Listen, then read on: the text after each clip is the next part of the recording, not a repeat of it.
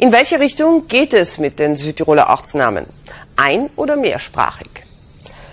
Die Sechserkommission in Rom hat gestern alle überrascht und sich auf einen fast schon historischen Kompromiss geeinigt. 1200 Ortsnamen, die Hälfte dieser Namen wird künftig zweisprachig sein und die andere Hälfte nur Deutsch.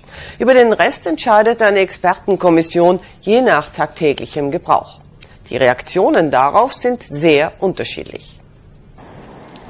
Es war ein langer Weg. Über Jahrzehnte wurde die Toponomastik immer wieder im Streit aufgeschoben.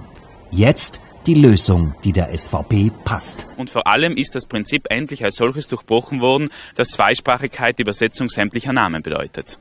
Für Wegschilder etwa, die immer wieder als Streitobjekt herhalten mussten, könnte die gängige Praxis, nicht alles übersetzt anzugeben, endlich anerkanntes Recht werden. Die Abkommen zwischen dem früheren Landeshauptmann Durnwalder und den Ministern Fitto und Del Rio bilden dafür die Grundlage. Geht es um eine Alm, geht es um einen Fluss beispielsweise, dass das übersetzt wird, aber nicht der Name selber. Dafür sind wir eingestanden und das ist ja auch ein Prinzip, das durch die Abkommen Fito del Rio auch festgelegt wurden.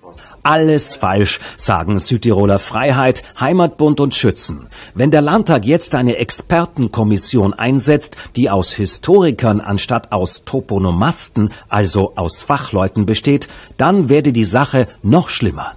Und vor allem ist ja jedem Unfug Tür und Tor geöffnet, weil man dann wirklich sagen kann, okay, wir gebrauchen diesen Namen, deshalb muss er amtlich werden. Dabei ist es ja ein faschistischer Name, ein Namen faschistischer Provenienz und der wird jetzt plötzlich gleichgestellt mit einem gewachsenen Namen.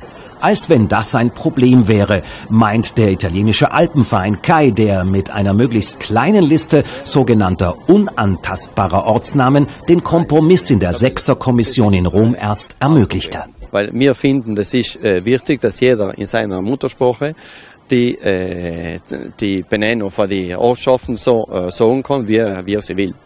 Für den Kai-Chef ist die künftige Kommission aus drei Italienern und drei Deutschen Garantie genug. Er will, dass Namen für Orte und Landschaften kein Hindernis mehr sind für das Zusammenleben in Südtirol.